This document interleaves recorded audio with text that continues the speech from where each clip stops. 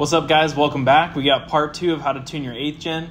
Uh, we already went over the ignition high and ignition low, so these are the same tables that I made before in part one. If you haven't checked out part one, definitely check out part one first because this is going to be setting up the ignition base map.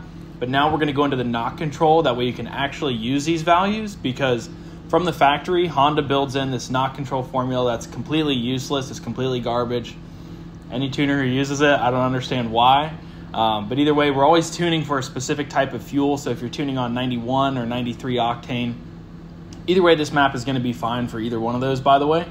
But if you're tuning for a specific octane, you don't need knock control. Um, these are just the values that the car is always going to pull. Before, I'll show you the knock control here. So this is part of the formula knock ignition limit.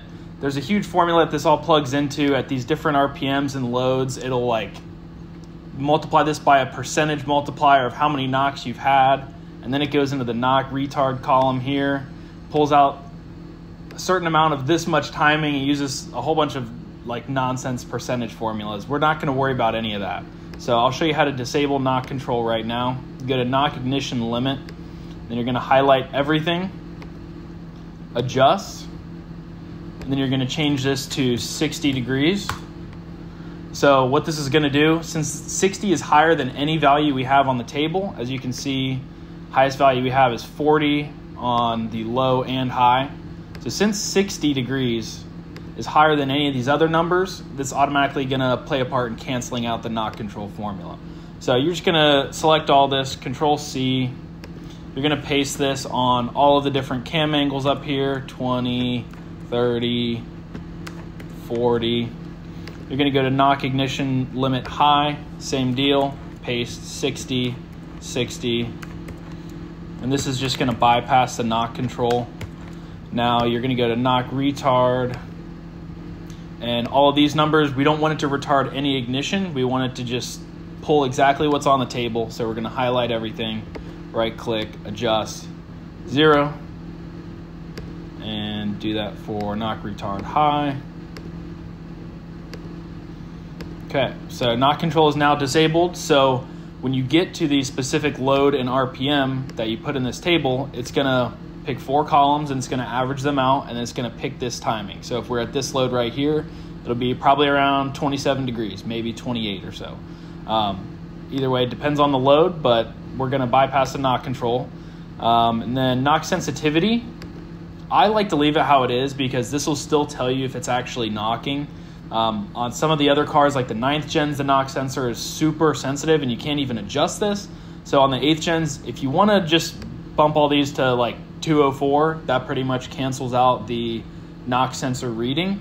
I like to have it still read from the stock values though. It is somewhat accurate. A pull will a pull will still make more power with like a couple knocks because they're not actually real knocks um, with this stock formula here. So kind of take with that as you will. It's up to you. I personally like to leave it. If I am getting knocks, I'll dial it back a little bit. Uh, same thing, low and high. If you want to edit it to like 204, that'll cancel everything out because that's like 200%. So that pretty much makes the knock sensor not not sense anything. Um, other than that, let's see. We can go ahead and do cam angles, same video. Uh, this is still going to be a pretty quick one. For the cam angles, so there's a crucial crucial step you have to do to do a pre VTEC crossover on these cars, and that'll get you like a growl right before VTEC when the cam's in its full efficiency. We'll go ahead and start with high because it's easier. So this is going to be your VTEC cam angles. Now the HN is equipped with a 50 VTC on the intake cam, so this is pretty good starting out. Um, I personally like to have it not start tapering off till about 5500 or so Every car is going to behave a little bit differently, but for a good rule of thumb, VTEC point, we're going to have it around 4,500. So when it cracks into VTEC, right at 50 degrees, peak cam performance right there. And then this is a little low actually for the top end, so I'll go to 8,500. And I like to change these to about like 23 to 26. Every car is going to be different, that's why it requires tuning. But just for base map purposes, um, we'll go ahead and grab it from 5500 we'll change this to 50 as well and then we're gonna highlight all of those rows there at 5500, go down to 8500, and then we're gonna right click, interpolate vertically, that'll smooth all of that out. So as the RPMs progress up, the cam angle decreases.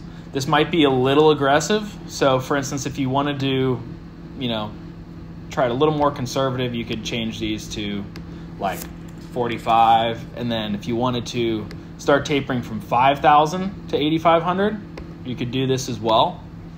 This might perform better. Every car is different. So, uh, it really depends, but for a general rule of thumb, you want as close to the peak cam angle at the VTEC crossover. For low speed cam angle, we're gonna, well, go ahead and set the VTEC point. That way we are building off of something.